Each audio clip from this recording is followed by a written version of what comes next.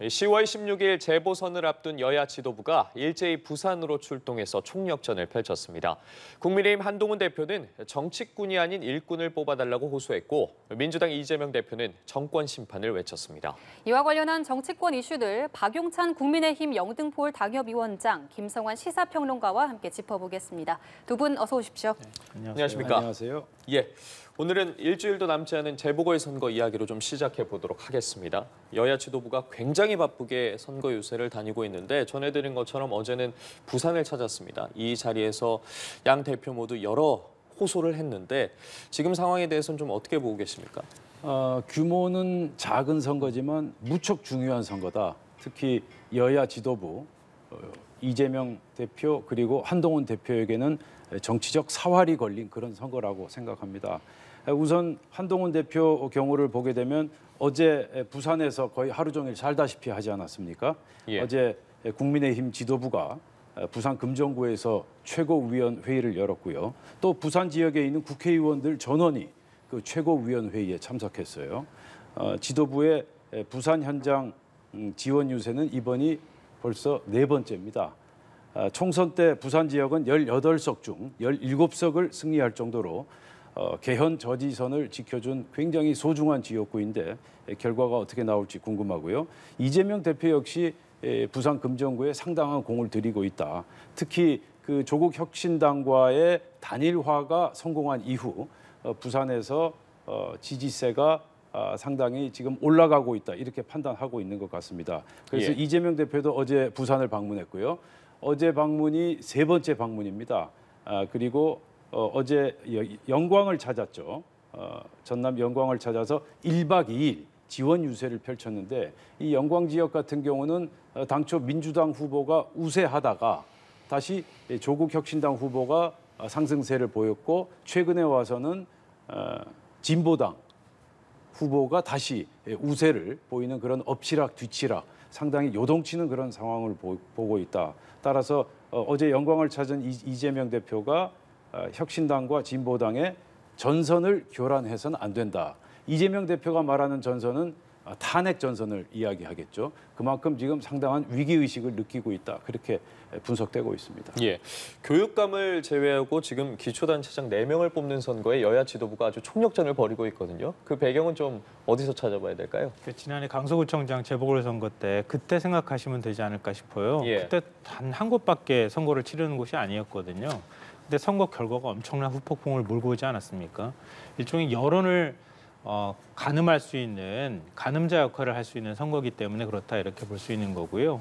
근데 작년 선거의 경우에는 올해 이제 총선을 가늠할 수 있는 선거였다고 하면은 올해 지금 재보궐 선거의 경우에는 양 당의 대표의 정치력, 지도력이 어느 정도 되는지를 가늠할 수 있는 그런 계기가 된다고 하는 측면에서 굉장히 중요하다 이렇게 보이는데요. 한동훈 대표는 사실상 이번 재보궐선거에서 금정이나 강화를 내주게 될 경우에 예를 들면 금정에서 내준다고 하면 영남권에서 사실 굉장히 유리한 지형을 갖고 있는 지역에서 선거구를 내주게 되는 거잖아요. 한동훈 대표 사퇴하라는 요구가 틀림없이 아마 나올 가능성이 있습니다. 그런 면에서는 한동훈 대표의 리더십이나 정치력을 검증하는 무대가 될 것이다 이렇게 보이고요. 이재명 대표의 경우에는 지금 영광이 굉장히 치열하잖아요. 특히 예. 이제 조국 혁신당하고 호남 민심을 두고 싸우고 있는 상황이란 말이에요. 근데 이재명 대표가 만약에 영광에서 진다고 한다면 호남 여론이 흔들리는 것 아니냐 이런 이제 뼈아픈 지적을 받을 수밖에 없는 상황인 거죠. 그런 측면에서 양쪽 어느 쪽도 양보하기 어려운 선거가 됐다 이렇게 생각합니다. 지금 여야 대표가 유독 공들이고 있는 지역 들을 말씀을 해주셨 지역들을 말씀해 주셨는데 내일부터 이제 재보궐선거 사전 투표가 시작이 되는데 그럼 짧게 이 부분도 여쭤볼게요. 판세 어떻게 될 거라고 보십니까? 결과 어떻게 예측하고 계세요? 지금 제가 뭐 섣불리 예측하기는 어려울 것 같고요. 예. 그러니까 이 호남 지역의 경우에는 그러니까 일종의 야권 내 경쟁을 하는 거잖아요. 그 야권 내 경쟁의 성격을 두고 거기에 의무 부여를 어떻게 할 것이냐 이런 부분에 대한 거니까 그거는 이재명 대표의 리더십과 관련되는 문제에서 얘기를 할 수 있을 것 같고요. 그러니까 그러니까 국민의힘이 거기서 승리한다고 보기는 어려운 거니까요. 근데 중요한 거는 이제 그- 그 강화하고 금정의 경우인데요. 둘 다 다 양쪽 다 지역이 모두 다, 다 국민의힘이 굉장히 유리한 지역입니다. 특히 금정 같은 경우에는 그 동안에 민주당에서 이겨본 적이 없는 지역이에요. 예. 어, 근데 지난 이제 총선 때 결과 보시면 아시겠지만 어, 전체 18개 선거구 가운데 국회의원 지역구 선거에서 17곳을 부산이 가져갔단 말이에요. 그러니까 200석을 막아준 그런 지역이 바로 부산입니다. 근데 최근 여론은 굉장히 심상치 않거든요. 그러니까 영남이라고 보기 어려울 정도로 수도권 민심하고 거의 비슷한 수준으로 여론조사나 이런 것들을 보면 나온단 말이에요. 그러니까 그만큼 현 정권이나 윤석열 대통령의 굉장히 비판적인 시각이 크게 증가한 상황이다 이렇게 보이거든요. 그런데 이런 상황에서 금정에서 현재 뭐 지금까지 판세로 보면은 뭐 오차 범인의 접전이다 이런 평가까지 나오고 있는 상황이거든요. 예. 근데 여기에서 만약에 금정구청장을 내주게 된다. 그럼 국민의힘 입장에서는 굉장히 뼈아픈 결과가 될 것이다. 특히 윤석열 대통령보다는 한동훈 대표의 어, 어떤 그 비판의 목소리가 훨씬 더 커질 만한 선거가 될 것이다 이렇게 보이고요.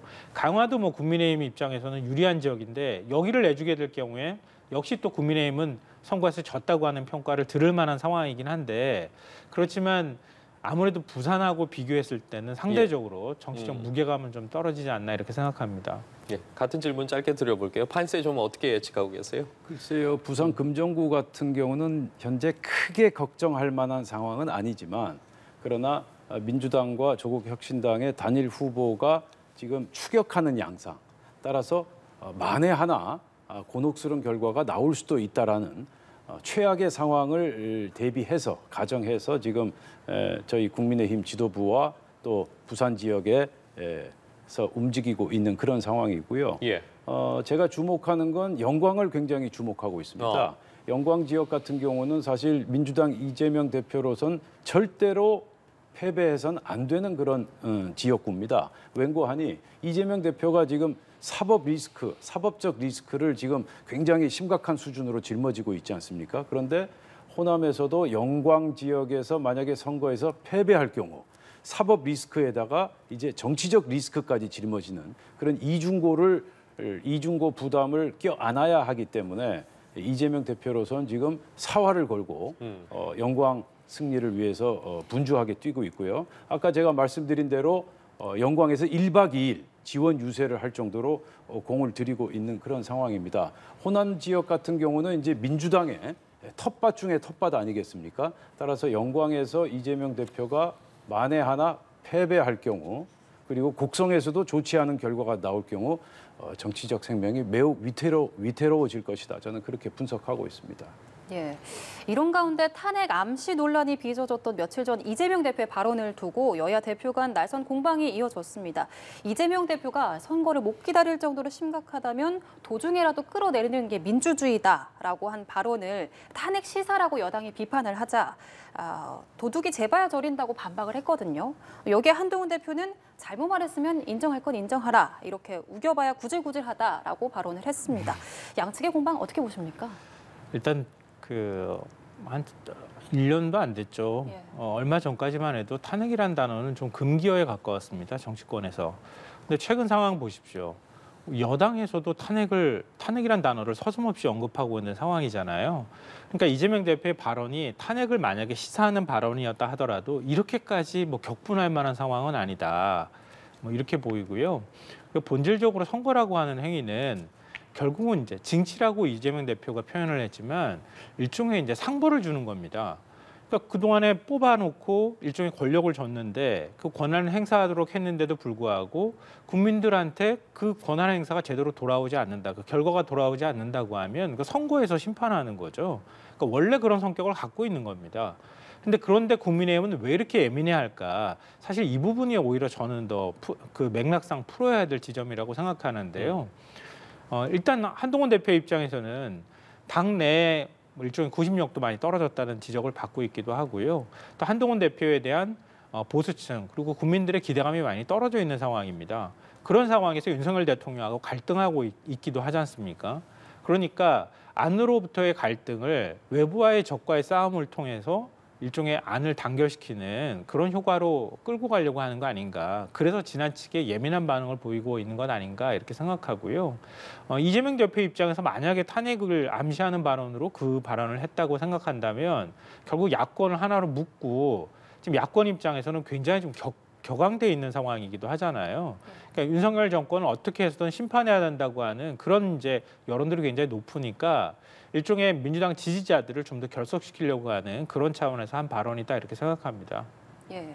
위원장께서는 양측의 발언 어떻게 보십니까? 글쎄 이재명 대표께서 탄핵을 언급한 게 아니다 이렇게 얘기하시는 대목을 저희들로선 이해할 수가 없고요. 어, 분명히 누가 보더라도 이재명 대표의 발언은 탄핵 탄핵 발언 아니겠습니까? 그리고 실제로 지금 민주당 안에서 어, 국회의원회관 안에서 탄핵의 밤이라는 그러한 집회 모임을 열지 않았습니까? 민주당 강두구 의원이죠. 어, 탄핵의 밤이라는 집회를 분명히 열었고 또 어, 국회 밖에서 박찬대 원내대표는 탄핵 집회에 직접 참석해서 어, 윤석열 대통령에 대한 탄핵을 언급했고요. 따라서 이재명 대표가 왜 저렇게 탄핵을 언급한 게 아니다 저렇게 소극적으로 어, 겉과 속이 다른 저런 모습을 보이는지 도무지 이해할 수 없고요. 저는 이제 그런 어, 이재명 대표의 언급을 떠올렸어요. 과거 영화 배우 김부선 씨를 나는 알지 못한다. 그리고 어, 대장동 개발의 에, 핵심 인물인 김문기 처장을 나는 모른다, 모르는 사람이다.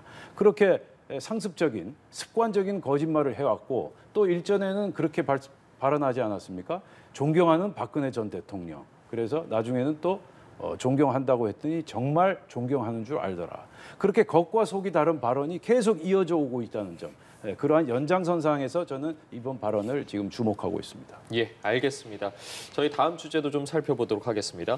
한동훈 대표가 당 일각에서 김건희 여사의 공개 활동 자제 요구 목소리에 대해 처음으로 동의의 입장을 보였습니다. 그 내용을 명확하게 좀 살펴보면 이 자리가 김건희 여사가 공개 활동을 자제해야 한다는 의원들의 의견이 있다는 기자들의 질문에 한동훈 대표가 이제 저도 그렇게 생각한다라고 말을 한 건데 이에 대해서 지금 최근에 뭐 공천 개입 의혹으로 논란이 된 명태균 씨 의혹과 관련해서도 관련자들의 솔직한 해명이 필요하다라면서 대통령실을 압박을 한 것으로 보이거든요.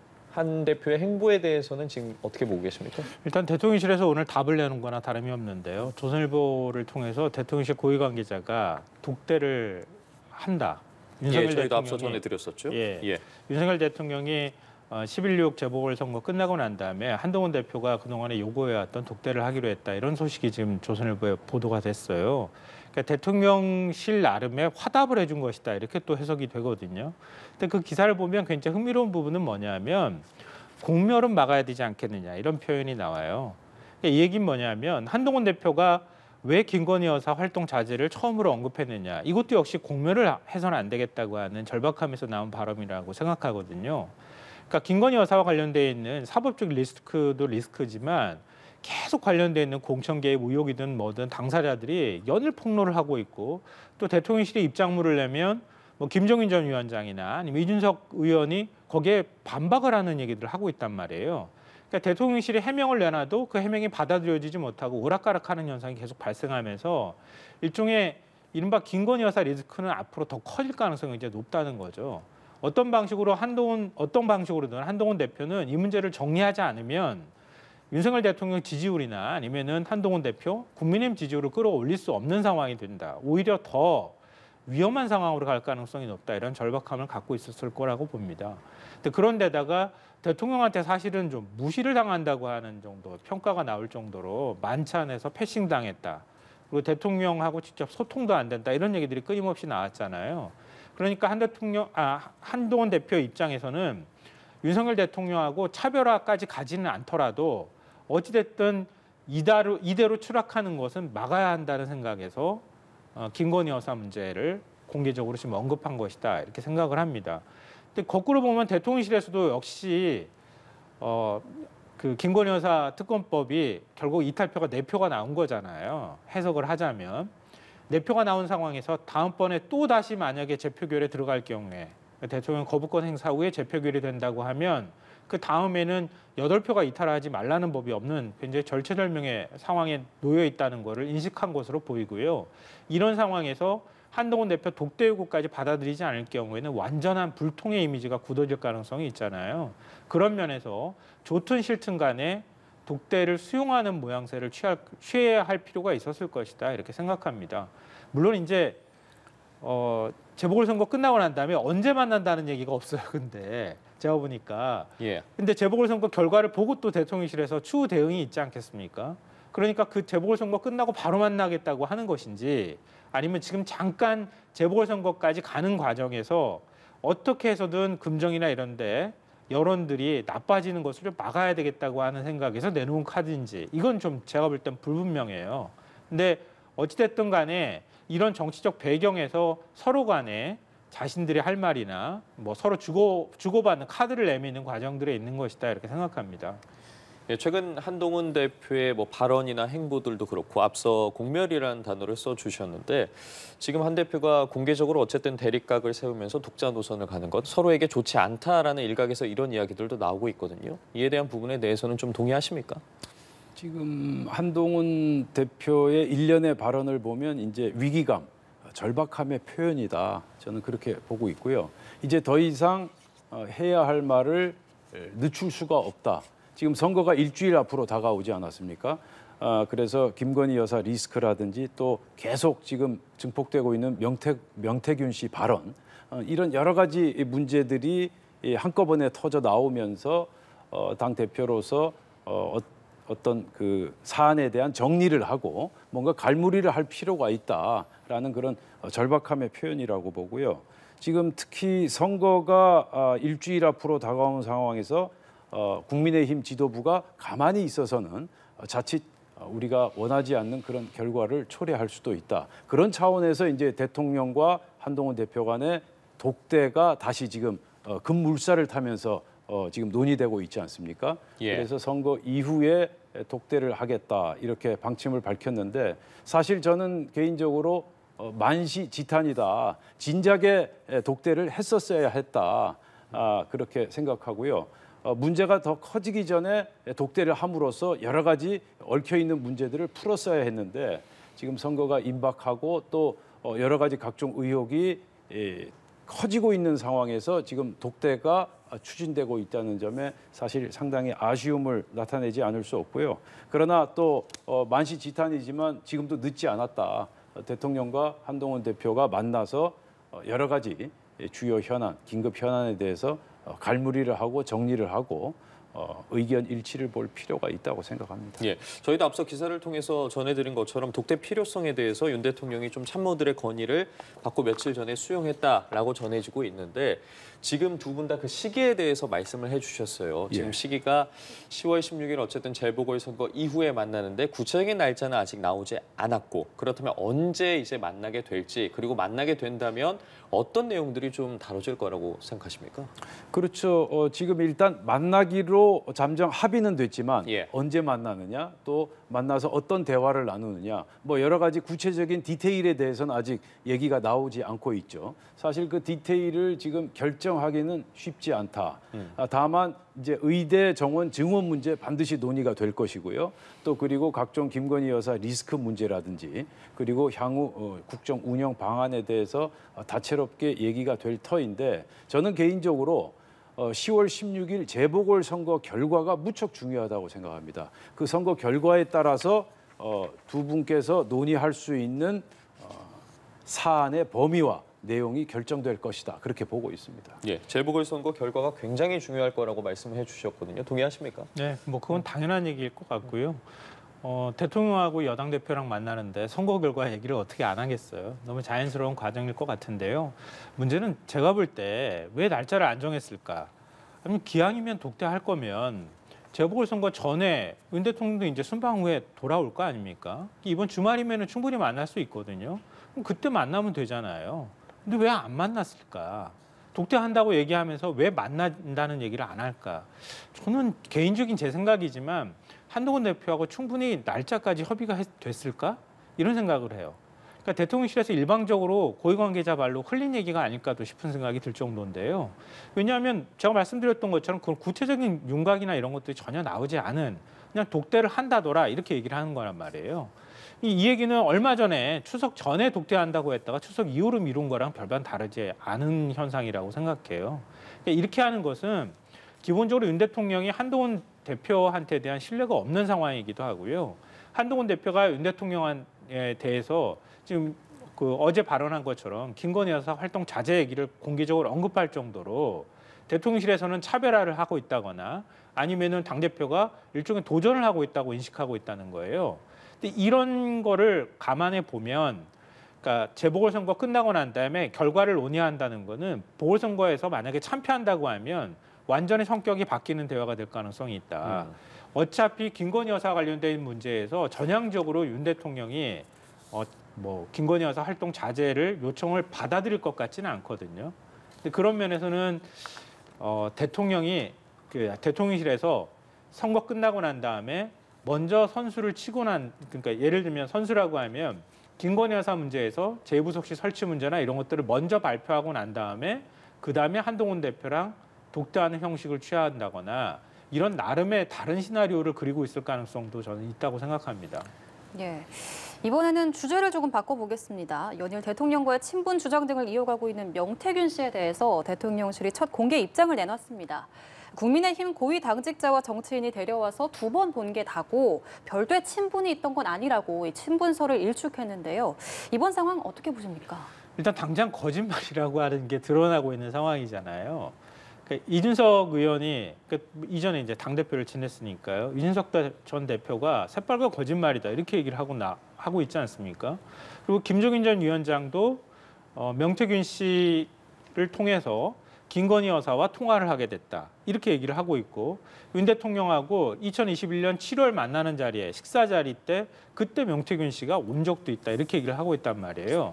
근데 대통령실에서는 어, 아크로비스타라고 알려져 있는 그 사저에서 명태균 씨 두 번 만난 게 전부다. 그 이후에 연락 끊었다 이렇게 얘기를 한단 말이에요.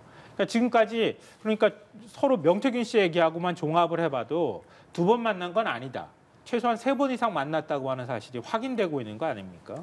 그리고 명태균 씨를 어, 국민의힘 고위 관계자 이준석 전 대표를 통해 가지고 소개를 받거나 이런 것들이 있었다고 얘기를 하고 있지만 이준석 전 대표라든가 김종인 전 위원장의 말에 빌려, 말을 빌리자면 명태균 씨랑 먼저 친했던 것으로 보이거든요.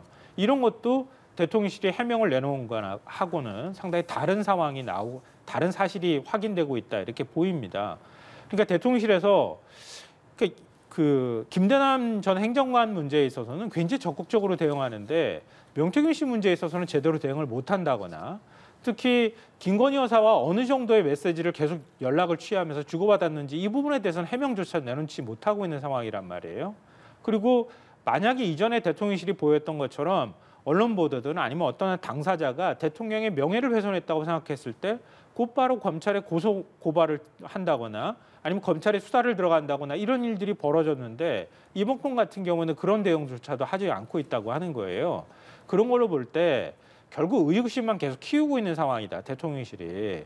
뭔가 분명하게 설명을 내놓을 거면 설명을 내놓든가 이렇게 해야 되는데 오히려 지금 뭐 가해자라고 하든 뭐 폭로자라고 하는 명태균이라는 사람이 하야나 탄핵을 언급할 정도로 날 건드리면 앞으로 내가 가지고 있는 것이 많으니까 나 다 공개하겠다.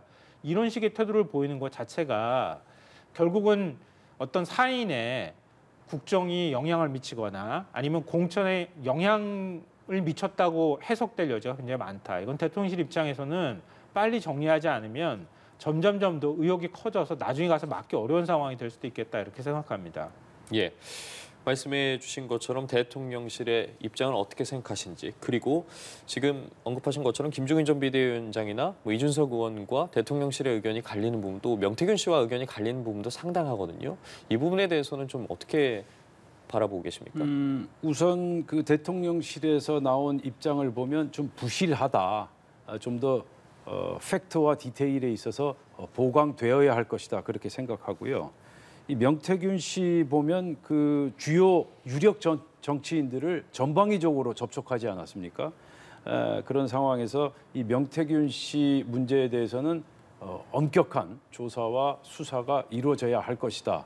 저는 특히 이제 주목하는 대목이 명태균 씨가 올해 2월에 총선 전에 이준석 의원을 칠불사에서 만나지 않았습니까? 그 자리에서 양측이 다 인정하는 부분이 예, 김영선 전 의원 비례대표 1번 공천을 논의했다라는 부분.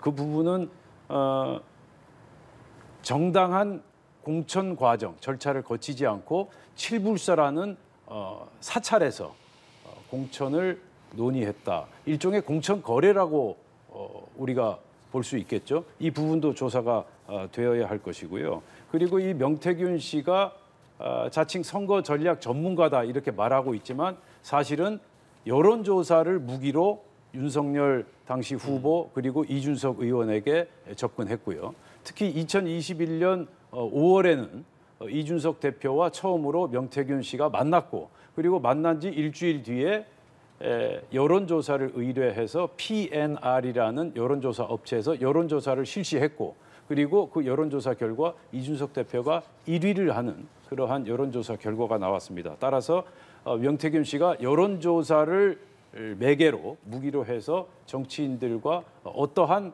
어, 관계 거래를 맺었는지 그 부분이 반드시 예, 조사 내지 수사가 되어야 할 것이다 그렇게 생각하고 있습니다. 예, 알겠습니다. 지금까지 박용찬 국민의힘 영등포 당협위원장 그리고 김성환 시사평론가와 함께 이야기 나눠봤습니다. 고맙습니다. 말씀 고맙습니다. 예, 감사합니다.